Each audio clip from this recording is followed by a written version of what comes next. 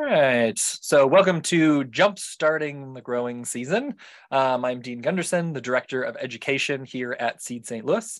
Um, and we will get going. Uh, so, if you're not familiar with who Seed St. Louis is, so you know, like why we're giving this presentation. Um, so, we are a support organization whose purpose is to provide the community with the education, resources, and a network to grow their own food. So, um, what we're kind of most known for is we work with community gardens, school gardens, and community and school orchards. Uh, that number is actually a little old. Uh, we currently support a little over 250 projects across uh, the St. Louis area. Uh, and this is a little bit outdated map of where those projects are. Uh, we currently provide one-on-one staff consultation, volunteers, a tool loan program, and access to garden and orchard supplies to those network projects. Um, and then we also have um, uh, other things that we do that were designed to help those network projects, but that are also open to the general public because it wasn't really any extra work for us to make it open to the general public, and we thought that it could be useful to people.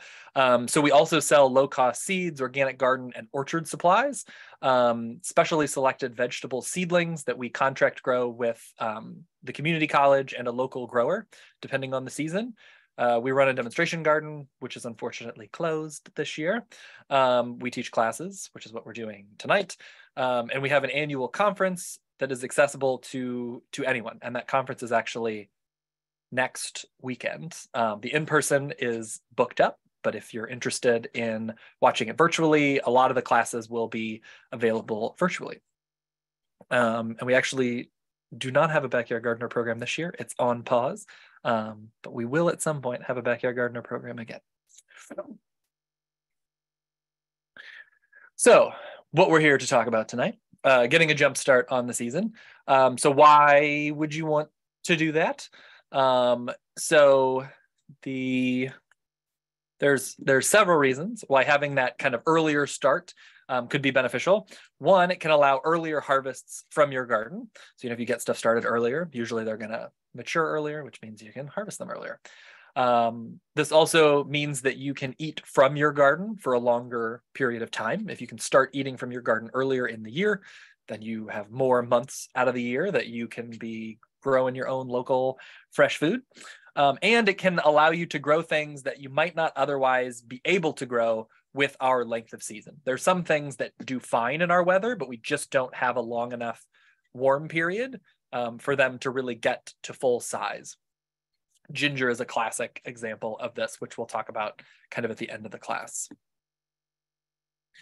Um, and there's several different ways to get a jump start on the season. The first couple ones I'm going to talk about are probably not what you thought we would mostly be talking about, but are really the best ways to get a jump start on the season. So we're going to go through those first, and then we're going to go through um, how to get, you know, like the conventional things that you probably think about started earlier. So by far the easiest way to have an early crop and the way that people used to get early crops for many thousands of years um, before there was plastic to create uh, greenhouses and whatnot um, was plant perennials. That's why perennial vegetables exist for the most part is because they ripen earlier. Like that's why people dedicated the space and took the time to domesticate these perennials, which usually have much lower yields. They did it because they could get food earlier in the year than you can with annuals. Just full stop it's like they just they produce earlier um, there are lots of different perennial vegetables out there. Um, if you dive into like permaculture reading it all you'll find all sorts of ones listed.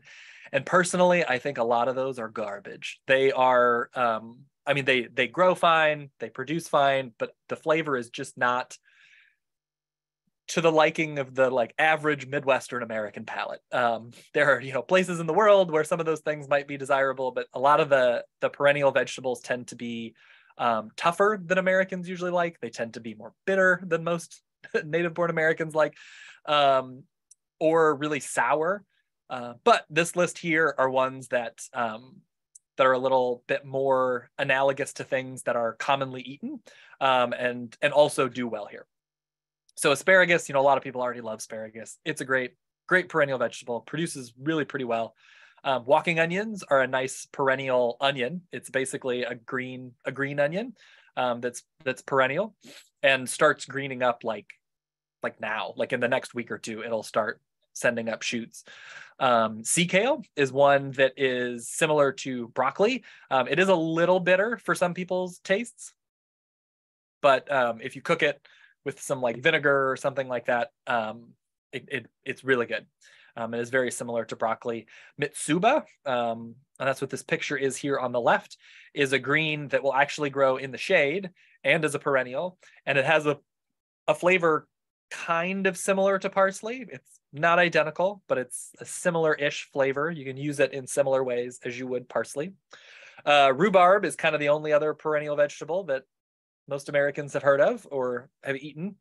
Um, that one's a little bit trickier to grow here just because it really likes colder climates. It's really um, happier further north of here, but it can be grown here as long as you have really good drainage. Um, it does not like wet or overly heavy soils, especially in the winter. Uh, another one is Scorzonera, which is actually most commonly grown as an annual root crop. It gets a big, long, kind of carrot looking root um, that is pretty good to eat. But if you don't pull that root out of the ground and eat it, um, and you just leave it in the ground, it is perennial here. And the leaves of Scorzonera are actually pretty good. They're pretty mild um, compared to most perennial vegetables, which again tend to be more bitter or tough. Um, they're pretty mild. That's what this picture is here on the right. They have these kind of long, um, skinny leaves. This is not the plantain that you see growing as a weed, although it looks kind of similar. Uh, but these long leaves are edible and and and pretty mild. Like I've even used them as like a salad base, like instead of lettuce, and they and they're still pretty good for that. Sorrel is another one um, that does have um, some can't think of the right word for it kind of zesty citrusy sour kind of notes to it um, so definitely not like a salad base but um, you know it's kind of like a flavoring to things it's pretty good uh, horseradish is a perennial vegetable does really well here. In fact collinsville produces 65% of the world's horseradish. Um, so it really likes st louis's climate. Um, and you can harvest the roots but you can also eat the leaves. And the leaves in very early spring uh, are very tender and they have kind of a mild horseradishy flavor. They're really good kind of chopped up and thrown into salads or into dishes or used as a seasoning anywhere that you would use horseradish roots. Um, the greens work work just as well. Uh, when the leaves get really big they're still edible but they get much spicier and much more tough. But when they're young um, very tender and and very good. Wild arugula is another one that it's it's just the like undomesticated form of arugula, so it tastes exactly like arugula, except it is it is more more spicy. It it definitely has more heat to it. Um, and it's a little bit tougher. So what I actually really like to do with this is to just like um, very lightly cook them because they're thicker. They hold up to cooking in a way that annual arugula really doesn't. You know, annual arugula, if you cook it, it just kind of turns into mush. Um, the the wild arugula holds up much better, um, and if you cook it, it basically brings it down to kind of the same spiciness as annual arugula. So, um, and then wild violets, like the violets that just like grow in lawns, um, are edible and pretty dang good. Uh, the African violets that like people grow in pots, not edible and not a violet. Um, so don't eat those. Um, but like the wild ones that grow outside, like as a weed in your yard, is um, very mild and very tender. It's nice. The green and the leaves are both edible, or sorry, the the flower and the leaves are both edible. And then herbs, you know, chives, garlic chives, sage, oregano, thyme, all those perennial herbs um, will start producing uh, really early in the spring, and are and all those are just a great way to get earlier food from your garden. You can also overwinter crops, which is something that, you know, too late to do for this year, but um, you could plan to plant them this fall to have earlier harvest next spring. Um, and this is one of the areas that I have been doing the most expansion in my garden is overwintering crops um, because I don't like the heat of summer. It's not fun to be in the garden when it's 100 degrees outside. And overwintering crops, you're doing a lot of your work when it's much cooler. So some of the ones that will naturally overwinter so when I say that, I mean you, you don't need to be providing extra um, protection of any kind. You can just plant them in the ground, you know, leave them uncovered and they will be fine. Um, so that list is is a lot of um, of alliums, a lot of stuff in the onion family. So garlic, shallots, elephant garlic, um, potato onions, which are a type of onion that um, gets a bulb. The bulbs are not overly big; they're you know about yay big, but when you you plant one, and then when you dig it up, it's a clump.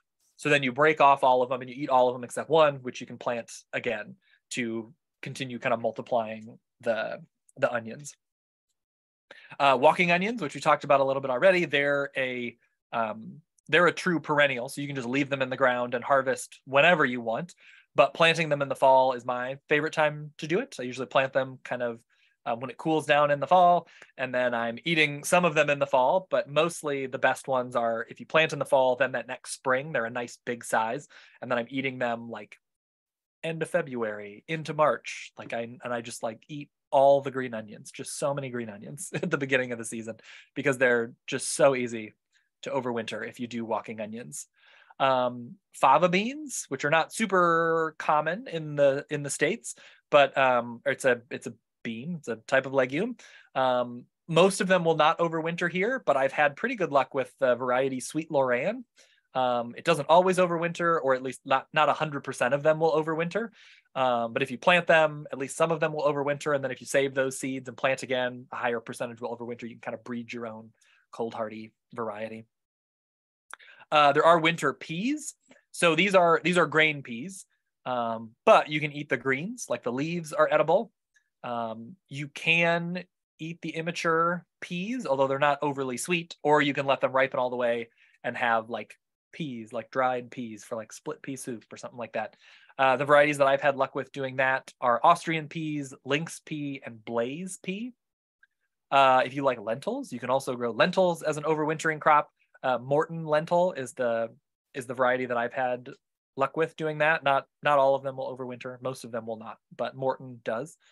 Uh, you can also grow winter wheat, winter rye, winter barley, um, any winter forms of the ancient wheats, so things like emmer, einkorn. Um, there there is winter emmer, there's winter einkorn, um, and those are all just older forms of wheat. Um, and then there, I've had some luck. If you want to be experimental, um, there are some oats that will overwinter to some degree, and there are some chickpeas that will overwinter to some degree. So especially if you have kind of a warmer microclimate, they will probably overwinter for you. Um, there's also overwintering crops that uh, are bred to overwinter, like that they will overwinter just fine. Um, but in our climate, they usually need a little bit of protection. So um, they are, I, I recommend all of these that you at least have the option of covering them in some way. And we'll talk about um, ways to cover things.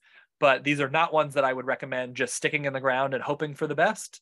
Um, if you really want to get a crop. Um, you might get lucky. It might be a mild enough winter that they'll overwinter without cover. But if you want to know that you're going to get overwintering crops, these are ones that you really need to at least have the option to cover if it gets really cold. Um, so these would be things like sprouting broccoli. So this is a broccoli that produces pretty loose heads, but produces a lot of small loose heads um, that you plant in the fall around the time that you're planting fall broccoli. Um, but instead of getting instead of producing a head in the fall, it just produces a giant plant. And then in um, kind of early spring, early to mid spring, like April ish time, it'll start producing little broccoli heads. Winter cauliflower is probably the best way to grow cauliflower here. Um, the three varieties that I've had luck with are Corella, Chester, and Freidor. Um, so these are ones that, again, you would be planting in the fall around the time that you would be planting um, cauliflower for a fall harvest, but it won't produce cauliflower that fall. It'll just produce a really big plant. It'll overwinter. And then about the end of April, early May, it'll produce um, the heads of cauliflower and they're and they're pretty nice heads. This is a picture of one of them that we let go a little long. You can see it's a little kind of fuzzy on there. Um, but there's other ones that we like harvested at the right time and they look like perfect grocery store cauliflower. Uh, and the reason that I put three varieties on here is that um, all three of these did well, but they all produced at a slightly different time. So we when we planted all three of these, we were getting cauliflower for about a month, um, kind of staggered throughout the time. There's also varieties of cabbage that are called winter cabbage. So these are ones that are designed to, if you have them covered, that they will just kind of hold in the garden and you can harvest them anytime from when you would normally harvest a cabbage in the fall all the way until spring um, when when it warms up in spring it'll bolt and start to produce seeds which at which point you can't really eat it but anytime between you know november through you know march-ish time frame you can you can harvest that. And it's just kind of sitting there in the garden waiting for you to eat it. Kale and collards most of them will overwinter if you give them some protection. Uh, there's some winter kohlrabi which is similar to the winter cabbage in that it um it, it produces in the fall but then it will hold in the garden. It'll just kind of stay good as long as you um, give it some protection all winter long. Um, it's been a little hit or miss but we've had some luck with doing um, brussels sprouts as an overwintering crop like where you plant them in the fall you provide them protection and then in the, the late spring they produce brussels sprouts um, which is much easier to do than trying to plant brussels sprouts in the spring and getting them in the summer when it's really too hot for them uh, turnip greens, spinach, and carrots also all will overwinter just fine if you if you give them some protection. Another way to get a jump start uh, in your garden or to get food earlier is to wild harvest some some food. Um, you know, you can turn weeding into harvesting. There's a lot of those those winter weeds in the garden um, things like chickweed, uh, the wild, wild violets, uh, garlic mustard, wild onions, garlic, dead nettle, henbit. Those are all edible. Um, dead nettle and henbit, I don't love the taste of, but they are edible. But the other ones, uh, you know, the chickweed, wild violet, garlic mustard, wild onions, wild garlic, are all pretty good. Um, and they're edible. And if you're ripping them out anyways, why not eat them? There's also several crops that were even started as as weeds just to show you that you know like eating weeds may seem kind of weird but um mâche is is a is not really popular here in the states but is a really popular winter vegetable in um, in france in particular um, and other parts of, of western europe but in particular in france um, and it and it it was a weed it it was also called corn salad, which sounds like a really weird uh, phrase to Americans. But um, corn, um, you know, in in Old English, just meant grain. Like the word that we use for grain, that's what corn used to mean. Um, which is why, like, if you go and you read like old English texts from before Europeans came to the New World, um, they'll be talking about corn, and you're like, they didn't have corn. Corn was from Mexico, and it's because corn used to just mean grain. And then when they, and then when you know people came to uh, North America from Europe, uh, what we call corn or maize um, was the grain, like it was the most important grain. So corn and grain kind of like like like like merged meanings. So this this used to just mean the salad like the leafy thing that you get from the grain because it grew in grain fields as a weed. But it's now a crop. It's like a crop that's like intentionally planted and grown. And actually oats believe it or not started out as a weed in wheat and barley fields until you know several thousand years ago. Um, it was domesticated actually on a completely different continent than oats are originally from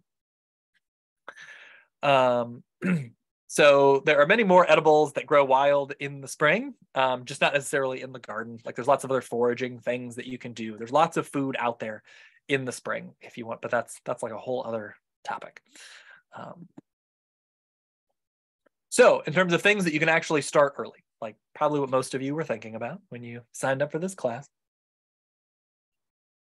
there are some things that are just really early seeding crops.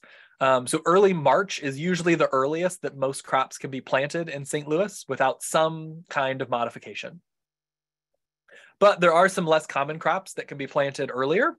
Um, and by earlier, it means really as early as the soil can be worked. Um, you know, February is hard just because even if it's warm, usually the soil is too is too wet to really do anything. But if you get a dry spell before March, you can plant oats, um, flax, or bread seed poppy, all of which grow fine here. Um, these are bread seed poppy. They're very pretty. It's where poppy seeds come from. Um, and then flax, you can grow flaxseed, or if you're into fiber art, you can, you know, make some linen or something. Um, and then oats, obviously, you get oats from. But most of you are probably not wanting to grow grains.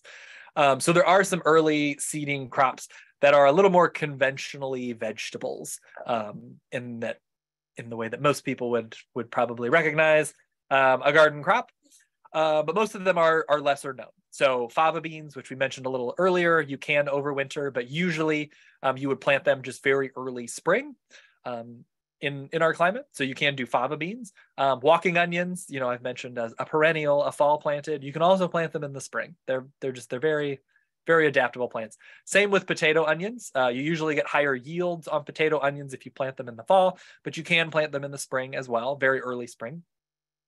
Um, mâche, which we talked about already, that's this uh, this here on the left. It's just a little leafy thing you can plant really early.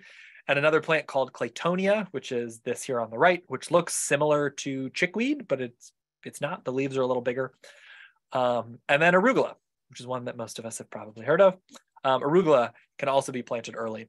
And so these can all really be planted whenever the soil temperature is at least um, 40 degrees, which is pretty cold. Most of the other stuff wants kind of at least 45 to 50.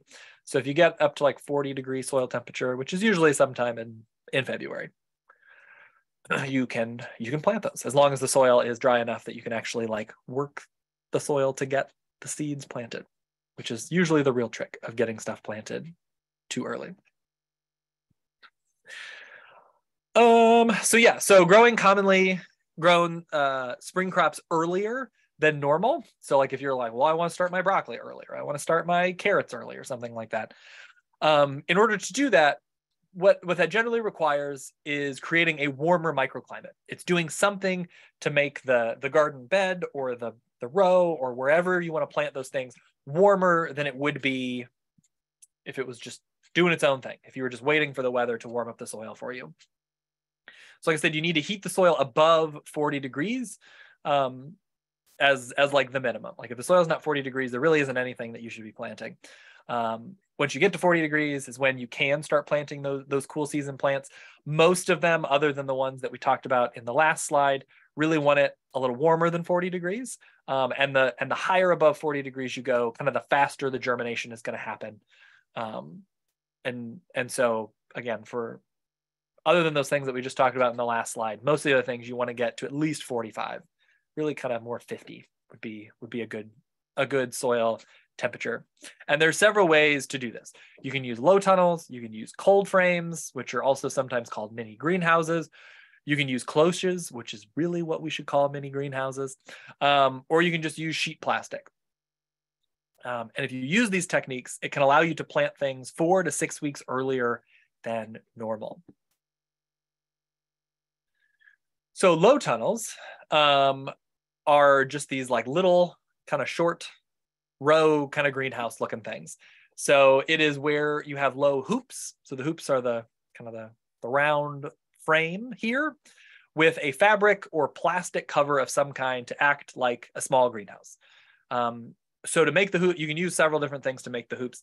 Um, a heavy gauge wire can be something. So like thick wire that you kind of bend um, into a hoop is one option. They also sell pre-bent ones that you can buy online, or we sell them um, uh, on our website. And you can come and pick them up from our office. Um, and you can also use half-inch PVC pipe, which is what this this picture is here. Um, so all those things bend pretty well, and you just kind of stick them in the ground, um, and they and they work. And then you can cover it either with row cover, which is also called frost blanket some sometimes. So it's kind of a spun material that looks kind of like a dryer sheet is what row cover is, but it comes in, you know, big long rolls of fabric. You can also use plastic, like clear sheet plastic.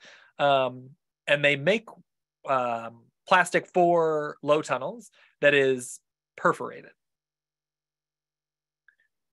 That's a weird way to spell it. Pre pre perforated. Um, I don't, I, yeah, I don't think that's right. Uh, anyways, uh, so pre-perforated. So they have like little kind of cuts in the plastic. So what that does is it helps um, prevent overheating in in the low tunnel, which we're going to talk about talk about that. but you can just use like solid plastic. It's just a little bit more work than getting the the stuff that's pre-cut. And again, you can buy that online. We also sell the the pre-cut um, uh, or pre-perforated plastic um, on our website that then you can come and pick up if you're not able to find it somewhere else. uh, da, da, da. So constructing a low tunnel is very easy. Um, all you need to do is push the hoops, whatever material you're choosing to use. Um, this one here was actually using uh, something I didn't talk about. You can also use like metal conduit that then you bend, um, which is just a little heavier duty than like just a, a metal wire. So you just uh, bend it, push it into the soil, or you can do kind of what these people did. You can build like a frame on it and then move the whole thing and like stick it on a on a raised bed if you want. But it's usually easier to have them separated for for storage purposes. And, and then and yeah, when you're making your hoops, you want to make sure to cut them so that there is excess um, at the or sorry, not the hoops um, for the fabric. When you want to make sure that there is excess at the end, because if your fabric, if you make the hoops so that your fabric comes down and just touches like the soil surface at that, it's going to be really hard to keep that fabric on or that plastic on. You need to secure it somehow. And usually the best way to do that is to have extra excess at the end that you either put bricks along or you use big sod staples, which are kind of big metal kind of staple looking things that you push into the fabric or the plastic to literally like staple it down to the ground. Because um, if you don't do that, you get a wind, it comes, it just blows it off. So you want to make sure that whatever size um, hoops you're making, whatever like length of tunnel and everything, that you have enough um, cover material to have excess at the ends to either put bricks or rocks or something to weigh it down or staples um, to push through the edges to secure it. And then venting. So this is really important with all of the techniques that we're going to talk about today. Um, so after plants germinate, um, you have to be careful that it doesn't get too hot in there, which you might not think. You're like, oh, it's like it's cold outside. It's not going to get too hot, but it does. You know, it's the same idea of you know it can be pretty cold outside, but if it's a really sunny day and you're in your car, it's it's a lot warmer even without the the heat on. If you sit in there for a while, um, and if you're in you know if you're in this like tunnel which is like all glass, it can get it can get surprisingly warm, um, even if it's very cold outside inside those things. And the problem is, especially as you get later into the season, so like right now, it's not going to be as big of a problem. But as you get like more toward the end of February or even into March, um, where it's just a little bit warmer and we have more sunny days and the days are longer, uh, you can actually get it so warm in there that it that it can it can scorch the plants. It can it can injure the plants. Um, or even if it doesn't do that, the the big temperature swings that that will cause because as soon as the sun goes down, it's going to cool down pretty quickly. Um, when you get that really warm, the plant is then thinking, oh, it's going to be warmer. And then when you get that drop at night, it, it can actually be more stressful to the plant than if it was just uncovered. Um, when you get into the warmer times of the, you know, in, in the next month or so. So if you're using a row cover, or especially if you're using non-perforated plastic, you're going to need some way to vent it. You're going to need to go out there on days that are sunny or particularly warm, and you're going to need to open it. Like you can just open up the end, you know, take the bricks off, kind of fold it up, um, which I think I had a which I had a picture of a couple slides ago, um, where you kind of like take the plastic off or partially take it off, um, so it doesn't get overly hot in there. And that's really important. If you have the pre-perforated plastic um, and and row cover to some degree, you don't need to worry about that as much until again you get later into the season when it's like really warm. You know, we've got days that are 70 degrees outside and sunny. You're you're probably going to want to vent every, like no matter what material you have. But even I think Saturday it's supposed to be like close to 60 degrees or something like that. Um, so like if you had stuff covered you should be venting that on Saturday, um, at least by like midday, like when it's like the really hot part of the day, because um, it can get really hot in those. Uh, cold frames are another thing you can do. So cold frames are, you know, similar idea. They're all kind of the same idea, um, except instead of having like hoops with plastic over the top, you have some sort of solid walls. So whether that's wood or, you know, I've seen people where they'll like stack up um, straw bales or bricks or whatever you want to do. There's like some sort of solid wall, and then there's a translucent top. So that's usually either glass, like you can use old glass windows, or it's a rigid plastic. So you can see this is like, you know, the um, this is like a greenhouse type plastic, or this is just like a piece of acrylic that you can get at the hardware store. And it just acts as, again, a small greenhouse. So these um, can stay a little bit warmer than the the low tunnels simply because they're the, the materials are more solid. There tends to be less airflow. Um, and so they stay a little warmer, but they can also overheat a little bit more because they because they stay warmer. So you will again need to vent these on hot days. And this can be done manually by like just opening up the top, you know, just taking some of these windows off or like this. Usually there's a hinge on the back side of this and just like flipping it open or opening it partially way partial um, and wedging like a, a piece of wood or something like that in it to to keep it from overheating to keep some airflow in there they also, especially if you have kind of a bigger one or you want to do a lot or, you know, you just want to spend the money to do it. They also make these these vent arms that are pretty cool. they are they're um, they're manual, so they don't need any electrical at all. Um, but they will automatically open and close depending on the temperature. And they do that because this black cylinder here is filled with a, a specially formulated wax that um, below, and I can't remember the exact temperatures, and you and you can adjust it like by you can like screw this tighter or looser, and depending on how tight or loose it is, um, as it as it warms up, that wax will melt, and as it melts, it expands, and it will push the arm open. Um, and then at night, when it starts cooling down, that wax will resolidify, and it will slowly close until the the the lid is closed again. And you can kind of adjust again. You can like um, tighten or loosen that cylinder and the tighter it is um, the faster it'll open like the lower temperature it'll open and the more you loosen it the hotter it will need to get before it will open um, but those are pretty cool um, but they you know if you're wanting to do you know more than a couple uh, cold frames it can get pretty pricey. They they tend to be like 40 bucks a piece like 25 to 40 bucks a piece. And so you know if you're wanting to do several cold frames that can get that can get pretty expensive. But they are um, a pretty cool way to kind of automatically do that for you. Uh, cloches are probably the simplest cheapest way um, to to get an early season on um, or to, to get a jump start on your your early season crops so cloches are are I guess what you would call micro greenhouses. You know, if um, if cold frames are mini greenhouses, then these are micro greenhouses. So these are are con- containers that you are using to cover individual plants. Uh, cloches were, or at least the, the style that we use in in the U.S. was derived from um, the French tradition of of doing this um, for market gardening. It was a way to to get crops earlier in the spring to the the big Parisian markets. Um, they the traditional ones were really large bell-shaped glass vessels. Um, some of them were terracotta for for more specialized use, but mostly they were big glass bell-shaped things. So pretty pricey. Um, and you had to manually put them on and take them off every day, uh, which is a lot of work. what people have started using now, which is much cheaper and is less work, is old plastic bottles. So particularly old milk jugs is is one that is really popular because they're because they're nice and big. And what you do is whatever size bottle you have, you cut the bottom of it off, and then you can you know plant a seedling or you can plant a seed, and then you stick this over and it will warm just that little place.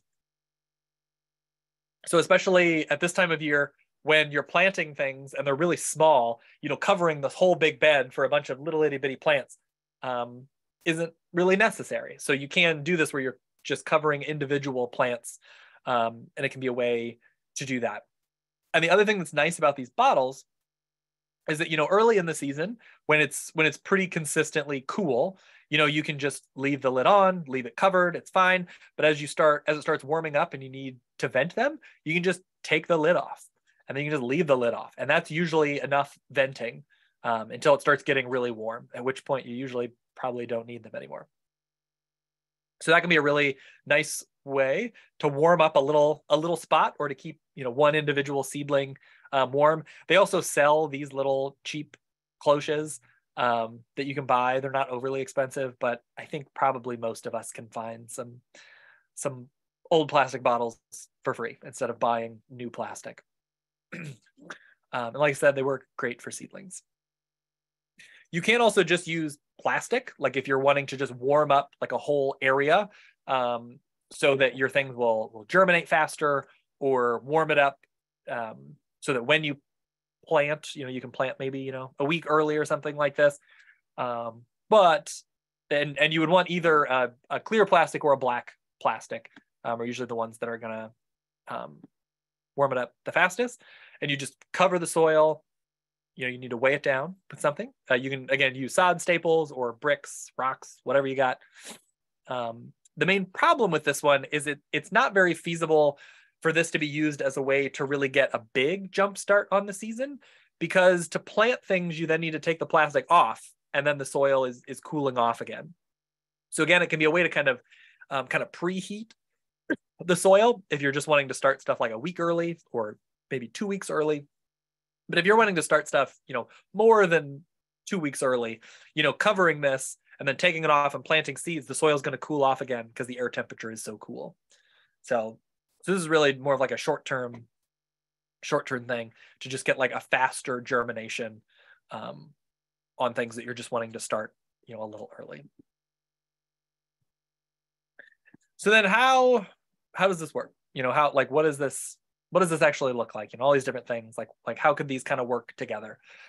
So you want to heat up the soil before you plant. So that's so that can be really helpful um, because again, you need that soil to be at a certain temperature to germinate. So if you plant things and the soil is, you know, 33 degrees, like you know, just thawed or something, and then you put a cover over it to warm it up, that's probably going to work.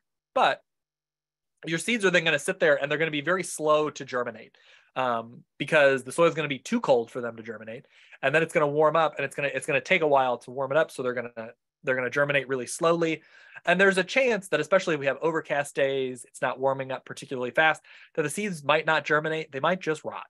Um, so you really want to warm up the soil first. So if you you know you could cover the soil with plastic, or you could put the cold frame up, put the low tunnel up.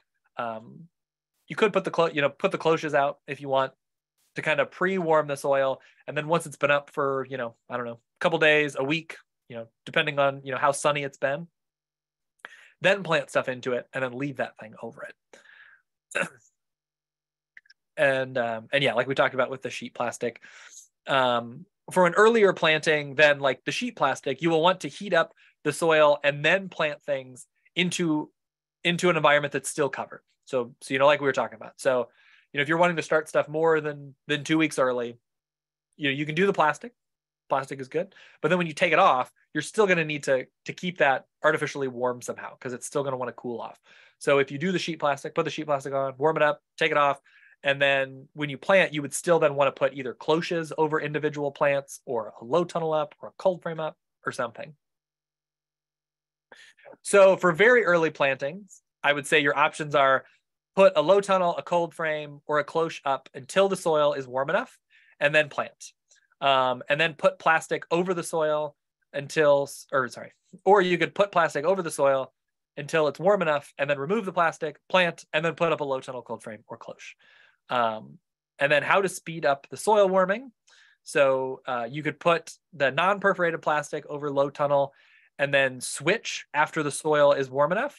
So um, so like like I said, the you know the perforated is is much nicer because you don't need to vent it as much, but it but it does stay a little cooler because it it is venting.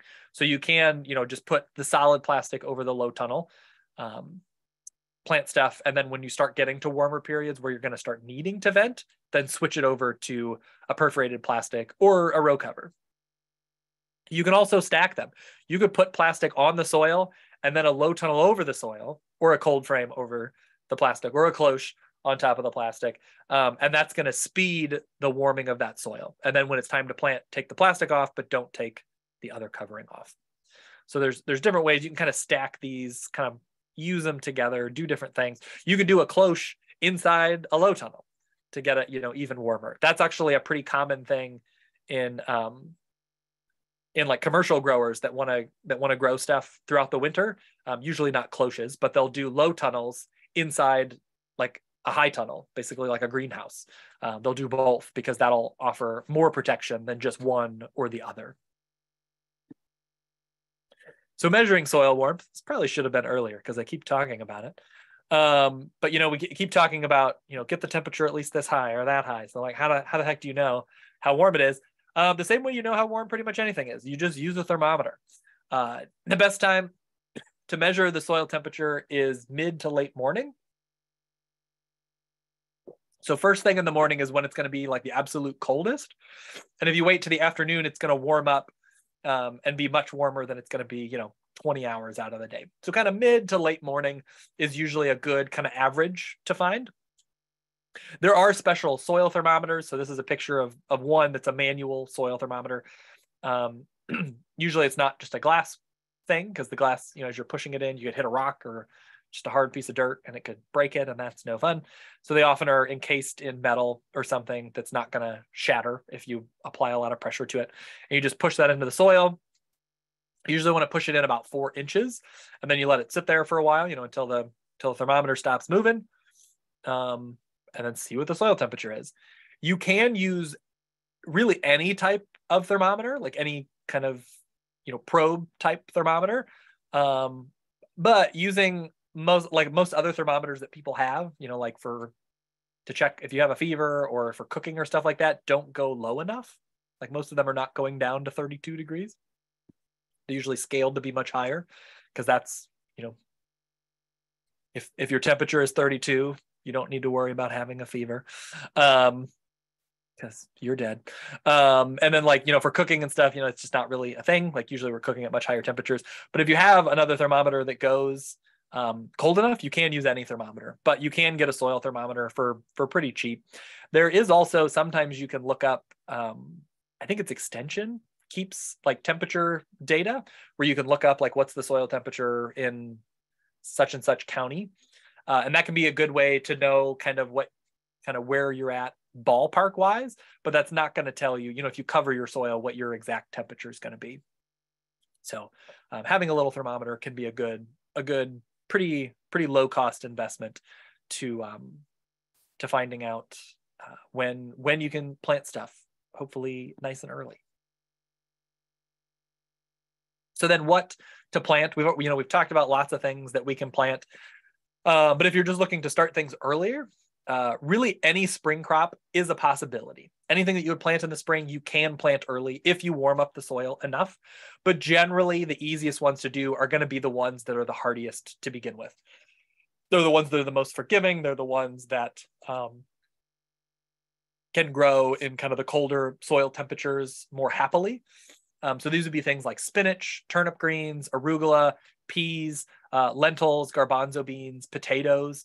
Um, onions, onions are one that can be particularly beneficial because the earlier onions get planted, the larger the bulb potentially is because they will bulb at a certain time, um, no matter how big they are. So if the plant's real tiny, if you get to the date that they that like the day length is the right thing to trigger them to produce a bulb, they're going to produce a bulb. And like doesn't matter how big the plant is. So the earlier you can get them started, the bigger the plant is. Um, usually, the bigger the bulb you're going to get. Um, and then broccoli and cauliflower can also be good choices simply because they're hard to do in the spring because usually our spring isn't long enough. So getting those planted earlier can give you a higher success rate of actually getting a nice big head of broccoli or cauliflower if you're wanting to plant them in the spring. And then pairing these techniques with seedlings can give you an even earlier start. So, you know, planting broccoli, you know, two weeks early from a seedling is going to give you a much bigger head start than planting two weeks early from seed. Um, because the seedling itself is going to be probably four to six weeks old. So, you know, doing any of these things as seedlings uh, is going to give you even more of a jump. And this stuff, um, although it's not, you know, what you'd be doing right now, these same techniques can also be used for for warm season crops. so you can easily plant about two weeks earlier, uh, your warm season crops about two weeks earlier um, using these techniques. For your warm season crops, you need a minimum soil temperature of 60 degrees, but really you want between 65 and 70 to get like nice, healthy, robust growth. Um, temperatures lower than this means that they will essentially just not grow. Um, you know, if, if, you plant a seedling, they're just going to sit there. If you plant seeds, they're just probably not going to germinate um, until the temperature gets high enough. And lower than this temperature literally prevents nutrient uptake in tomatoes. I see this all the time. People always want to get their tomatoes out as early as possible. And there's just almost no benefit to getting them out earlier than they want to go out. Because if the temperature is too cold, even if you dump fertilizer on them, they will be nutrient deficient because they can't absorb and it's, not all nutrients, but certain nutrients when the temperature is too cold. But if you do low tunnels, cold frame, things like that to warm up the space and plant them into that, you can get them out earlier and they're going to be happy and healthy and absorb nutrients. And so if you want to be getting especially your tomatoes out earlier, using some of these techniques can be really beneficial for you. Um, and it's really good for any warm season crop, but it's particularly helpful for um, things like tomatillos and ground cherries, which um, grow well here, but um, tend to tend to take a long time before they start producing. So again, getting them started earlier means you're going to get more harvest um, once they start producing because they'll start producing a couple weeks early. And then um, ginger and turmeric, which are two crops that really you can't get any meaningful harvest from unless you do some season extension. Um, and that's on both ends usually. So starting, you know, using a low tunnel or cold frame or something to get them started early is going to be helpful. And then also in the fall covering them to let them grow another couple weeks um, once it starts getting cold in the fall you're going to get like orders of magnitude bigger harvest than if you than if you don't do that. So those are are ones that um, season extension for warm season crops can can really pay back the effort so some other applications um, you can also use these techniques to make um, naturally early crops even earlier so like we talked about like with perennials, for you know, for example, like perennials are the easiest way to get an earlier crop, but you can actually force perennials. So um uh so so here we're talking about sea kale. So sea kale um, in Europe, which is where it's it's primarily grown, they cover them in these terracotta pots, which warm them up and make the shoots come up early, and then they actually they mostly eat the shoots in Europe. Um, I like the little flower buds that taste like broccoli, but they like the shoots in Europe. But you could also do this for asparagus. What actually initiates asparagus, like sending up shoots from the ground, is soil is soil temperature. So if you warm up the soil where your asparagus is, it'll produce asparagus earlier. There's actually a farm in Wales that it's like it's a huge farm, like hundreds, I think even potentially over a thousand acres um, that they're growing of, of just asparagus. And they've done all sorts of season manipulation things to keep the soil cooler or to make it warmer, um, to get asparagus to produce for several months, like a much longer period than it normally would. And so if you have asparagus and you have, you know, two beds, let's say, of asparagus, because you really like asparagus, you could cover one with a low tunnel and leave the other one uncovered. And the one with the low tunnel is going to produce probably several weeks early and then um, and then the other one is going to start producing later and will continue to produce later. So you'll extend your asparagus specific harvest season by using these techniques. And you can do that with any with any perennial or any plant that's that's dormant. You can kind of use these techniques to to warm them up and and they're usually going to start producing earlier. They're going to, you know, pop up earlier. And again, you can do that with low tunnels, cold frames or cloches. Um and yeah anything that you would that you would plant earlier so the things that we talked about like oats or mâche or um you know bread seed poppy you know any of those things you can also use these techniques for those you can put up a cold frame to warm it up to dry out the soil which is a, a big problem to get things in earlier you can put those up to dry out the soil so that you can plant oats even earlier or plant arugula even earlier and you can also put them on things that you overwintered um, to get them growing earlier. So so peas is one example of this. Um, where I I really like pea shoots, like the greens of peas are really good when they're young.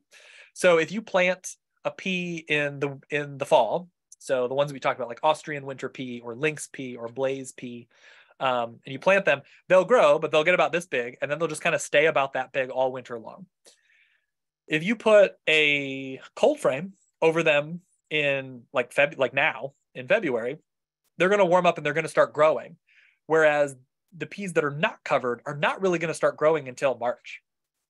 So we actually did this at our demonstration garden a couple years ago, and by I think it was late March, the peas outside were this big, and the ones inside the cold frame were like 14 inches tall, like just grew so much faster because because they were kept warm.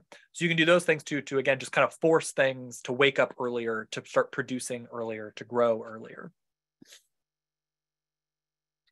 So in summary, um, the easiest way to get an early harvest is to plant perennials. You can also harvest um, edible weeds or just you know forage edible wild things if you don't want to if you don't like the idea of eating weeds. Um, also plant overwintering crops to get an earlier harvest next year. Um, and then you can put a heating structure over them in late winter to get them to start to kind of wake up and start producing earlier in the spring you can plant crops that can be naturally planted earlier so the things that we talked about like arugula maize um, oats bread seed poppy flax you can use heating structures to preheat the soil and create a warmer microclimate, which can potentially allow you to plant spring crops um, up to four to six weeks earlier than normal. And you can use those same structures to preheat soil, allowing you to plant warm season crops um, up to two weeks earlier. And then plant transplants in any of those situations to get an even bigger head start. Uh, and this picture over here is um, some sprouting broccoli that we overwintered. You can see this is um, a row cover low tunnel, and this was in the spring. You can see how happy and healthy it looks after living through winter. And that's it. Okay, thank you, Dean. So I was able to get through